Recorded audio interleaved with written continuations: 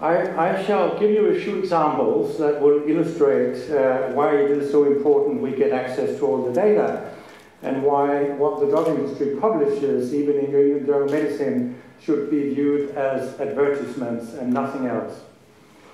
Uh, here is a very infamous example. GlaxoSmithKline had conducted several trials in children and adolescents of their antidepressant drug and they hadn't published a single one of them because it didn't work. Now they did an additional trial where uh, they actually did publish it, and uh, the, the main author said that paroxetine is generally well tolerated and effective for major depression in adolescents. It became one of the most cited papers of all, and the sales force were told that there was remarkable Uh, efficacy and safety. In truth, there was a remarkable absence of efficacy and safety, as you will see shortly. Documents obtained during litigation reveal that this study was negative for all eight protocol-specified outcomes, and it was positive for harm. The paper was ghostwritten, so it got the right messages, but it had 22 authors. Now, uh, originally, Glaxo had planned to do an extensive media relations surrounding this study until they viewed the results and realized it didn't work. That is not something we want to publicize. That was their first reaction, but that changed. Uh, and here you can see what the Americans say, torture your data until they confess. Um, I will give some examples the p-value was not significant for any of these protocol-specified outcomes. Change in Hamilton depression total score, p-value of 13%. Then you play around with some cutoff levels until the data confess that those that came down below 8 in this score, you got a significant difference. This is scientific misconduct. Uh, and they did that with several other variables, and they played around with the data a lot because compared to the protocol, there were at least 19 additional outcomes that they tested, and then they could choose cutoffs and whatever they might wish to do. Now, uh, the first author said that depression-related variables were declared a priori. This wasn't true. No document prior to eight months after they had broken the code, mentions, for example, one of these outcome measures that suddenly appeared in the manuscript but didn't show off in the protocol. And the term primary outcome they replaced by something they call depression-related outcome because when you change the primary outcome into a secondary one or invent a new primary outcome from a secondary one and calls it a primary outcome, then it's uh, what, what some people call the Texas sharpshooter technique, that you fire a pistol towards the wall and you don't hit the target, but then you remove the target and make a new one with the ball in the center. Wow, uh, we showed it worked after all. Now here it becomes very bad because uh, there were 11 serious adverse effects on paroxetine versus 2 on placebo. This is statistically significant. Five of these children became suicidal, but this was uh, relabeled as an emotional lability, like uh, my two teenage daughters, they uh, show this every day, I should tell you. Three additional cases of suicidal ideation or self-harm were now called admission to hospital, but they didn't explain why. Early drafts of the paper prepared for JAMA, there was not a single serious adverse event at all in this manuscript. Later drafts, then came something on the table, but when it was published, there was only one headache in one patient that was considered by the treating investigator to be related to paroxetine treatment. And I believe whether it was not, uh, what was it, a biochemist in, the, in Glaxo who uh, appeared here as the treating investigators because the investigators just received the final paper. So, I mean, what have they done? What the unpublished study report really showed was that there were 8 versus 1 who became suicidal, and this is statistically significant, but the doctors didn't know about it, and this drug that doesn't work became very popular in the States. Now, uh, Glaxo had decided not to publish these trials, as I already uh, told you, but there was also a memo from the Central Medical Affairs team that said it would be commercially unacceptable to include a statement that efficacy had not been demonstrated as this would undermine the profile of paroxetine. Uh, I have a few other examples. Uh, a, a, drug from AstraZeneca, an antipsychotic drug, was presented at a congress and press release, meta-analysis of four trials. There you have it. You were Kaiserized, Tom. Meta-analysis of four trials. Are you then AstraZenecaized? Quetiapine is significantly better than the old cheap drug haloperidol. That wasn't true. Quetiapine was actually weaker than haloperidol when you saw the files. Negative trials were called Beric trials in internal emails, and trial showing haloperidol was best was published, and then it showed that Astra's drug was best. That's magic. Um, and then they had a speaker slide kid. Long-term Seroquel has neutral effect on weight. Weight, weight neutral at all doses. It's not true, of course. A journal publication concluded that based on data from clinical trials with schizophrenia, this drug had neutral effect on weight, but internal documents revealed that that uh, patients with a weight gain of more than 7%, which is very much actually, in all trials was 18%. That's what they call no effect on weight. And in placebo-controlled trial, the relative risk of clinically significant weight gain was 2.5. So this is to give you a little flavor for what happens behind the curtains.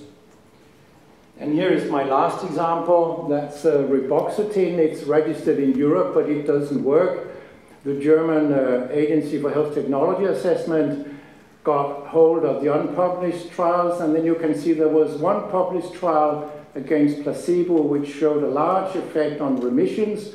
Then there were six unpublished trials that didn't show anything, and so on. So I think you will now understand why we need access to unpublished data. It's of crucial importance for public health. And I will um, tell you a few other things because we have now access to clinical study reports of SSRI drugs from the EMA that we look at, and it takes us years. It's absolutely terrible. Only three drugs uh, in Sweden, they take up the clinical documentation 70 meters of paper. So we have told our Swedish colleague we can't do that, it will kill us. So we work on a pilot project, which we have done for a whole year, and we analyze all the data uh, on one of the drugs. I won't tell you which one it is because then that company will get very nervous. Um, and I'll tell you some other things. Uh, this marketing from the industry is tremendously harmful. They have made the psychiatrists believe that when you stop one of these drugs, the depression comes back and therefore you need to get on the drug again. So they, they, they are now treated for many years many, many years. The sales in Denmark is so large of the SSRIs so that 7% of the whole population can be treated every day from they are born till they die. 7%. It's absolutely crazy. And this is marketing. It's not true that the depression comes back because people get bad already after one or two days. And if you give these drugs to people who are not depressed, they also get bad when they try to stop. This is dependency just like the benzodiazepines. But it has been hidden and the psychiatrists believe in it. And I tell them, then why, if you give these drugs even to healthy volunteers, why do you see these effects? They are not sick. David Healy in Wales has uh, done a trial in healthy volunteers, and to his big surprise, two of them became suicidal. One of them almost killed herself when the telephone rang and saved her. Two out of 24 people only became suicidal. We have now access to some healthy volunteer studies from the EMA. We are very grateful for that because the drug industry really has never wanted these to become public knowledge. These drugs are very dangerous and uh, it's incredible what happens and that these poor patients should now be treated for the rest of their lives. When I studied medicine, we said a depression lasted three months, perhaps six months, not for 40 years. It's the benzodiazepine scandal once again. And the uh, abstinence symptoms are very much the same. We have published that uh, a year ago, I think, uh, at the Nordic Cochrane Center. So it's very, very, very scary. Uh, these were some remarks about psychiatry, and uh, I have a, a, little more to say without slides. Namely, um, you know about Vioxx, that is estimated to have killed about 30,000 people who never needed the drug in the first place because of cardiovascular um, adverse events. Merck hit cases of myocardial infarction. There was this famous VIVA trial, and where was it published? In New England Journal of Medicine, which is a favorite journal by drug companies. Three cases of myocardial infarction had been deleted. Um, almost one million reprints was bought by Merck. And uh, so they, they, this journal has an enormous conflict of interest when the FDA had warned Merck that they needed to tell the doctors about this trial that there was actually an increase in myocardial infarctions, which the company tried to see, oh no, that's only because the comparator drug is uh, somehow beneficial. What difference does that make to the patients? I would like to take the comparator drug then if there were fewer uh, cardiovascular events. It's rubbish. But nevertheless, Merck was told to tell American doctors about this trial. The very next day, they told their 3,000 strong sales force in the United States, don't talk about this trial.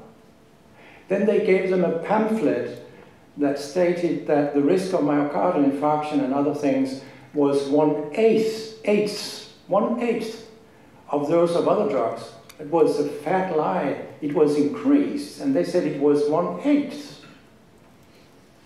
It's just unbelievable. Uh, Pfizer then went to the FDA hearing in 2005, and they claimed that now they had analyzed 40,000 patients in their trials, and there were not any increase in risk on Pfizer's drug Celebrex, or whatever the name is. This was wrong, and Pfizer knew it was wrong. Aren't you lying when you know something is wrong and you tell the FDA no, no, no, no risk on our drug. In Denmark, uh, a few days after Merck had withdrawn its uh, drug from the market, Pfizer Denmark wrote to all Danish doctors, oh, our drug is so good, based on 400,000 patients. That was a typo, it should have been 40,000, but never, never mind. Uh, uh, they were taken to task by the Danish Medicines Agency that told them, you can't say this because it's not true. It's, do you know how big the fine was? $2,000. $2,000. That's what we do in Europe. We must do it better, like the Americans. Give them. That's what we need to do. Now, uh, the story just goes on and goes on on uh, other drugs as well. Rosiglitazone is one of the newest uh, scandals. There were great concerns about the drug before it was approved, and the EMA luckily asked uh, the company Glaxo again to do a big trial post-marketing. But the problem with a big trial post-marketing is that when it's over, it's also about the patent being over, and they have earned all the money and created an immense amount of harm, which they did in this case, so it's too late our, I mean, our regulatory agencies need to ask for this documentation before they decide whether a drug should come on the market. And it's the same story again, that it increased cardiovascular uh, incidents, and again, Glaxo manipulated terribly with the data. When an FDA scientist got hold of the original case report forms, which was an immense task for him, he found out that adjudication of adverse events favored rosiglitazone over the comparator 4 to 1.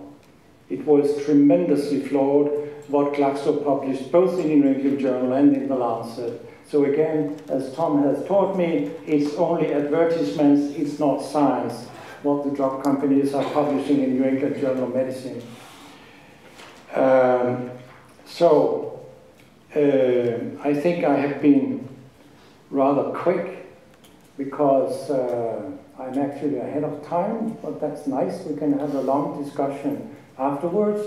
So I will just finish by saying I wrote a long, long paper in Trials, in the journal called Trials. It's up on our website. There's free access. I favor that. So I had to pay to get it published. Uh, I wrote it on behalf of a European politician in the EU. And it became very long, but it was a fascinating experience for me because I discovered that the European Commission, the OECD, the National Institutes of Health, you name it, almost everybody, they favored that we sh should share our data. But what they all forgot was also when the industry has made the trials, of course, that's where we need to share our data the most. So that's what I'm arguing. Thank you.